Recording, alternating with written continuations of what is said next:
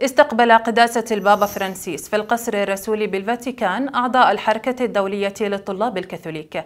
وبعد الترحيب بهم سلط قداسته الضوء على المسيرة السنودسية للكنيسة وأهمية الاحتفال بالسنة المقدسة 2025 مشيرا إلى أنها مناسبة مميزة للتجدد الشخصي والغنى الروحي في اتحاد مع الكنيسة كلها وأضاف إنه يقدر التزامهم من أجل تعزيز العدالة الاجتماعية والتنمية البشرية المتكاملة. وشجع الأب الأقدس الشباب على أن يكونوا رواد ثورة المحبة والخدمة من خلال العمل لبناء عالم أكثر رحمة وتناغما وأخوة. كما حثهم على الانتباه لصوت الروح القدس لأننا مدعوون دائما إلى اتحاد أكثر عمقا مع الرب يسوع.